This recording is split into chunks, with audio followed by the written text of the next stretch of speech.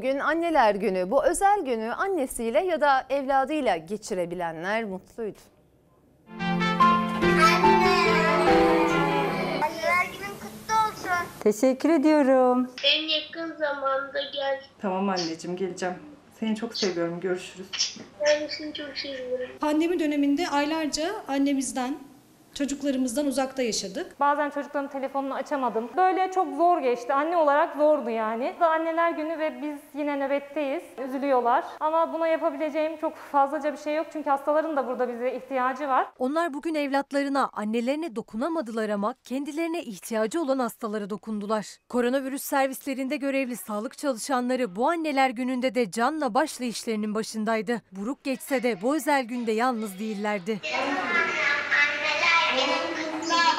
Biz evden çok yeni doğandaki bebeklerimize annelik yaparak geçiriyoruz dönemlerimizi. Eve gidemiyoruz, izin kullanamıyoruz. Herkes karantinada evlerinde çocuklarıyla vakit geçirirken bizim çocuklarımız annesiz olmayı öğrendiler. Diğer arkadaşlarımıza da selam söyleyin.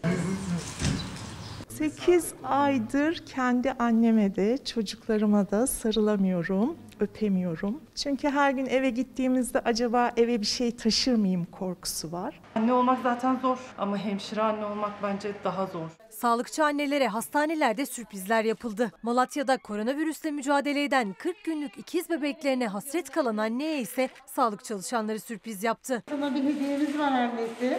Sen karantinadayken gelemedin biliyoruz ama sana da biz böyle bir sürpriz yapalım istedik. Üzülme onlar iyi. Bebeklerini gören anne gözyaşlarını tutamadı. Senin sütünü de veriyoruz gönderdiğin sütleri. İkizlerimiz ev içi temaslı. Ben de bir anneyim.